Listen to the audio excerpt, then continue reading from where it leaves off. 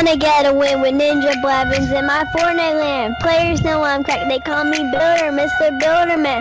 I just loot my chest and win these games, I'm not no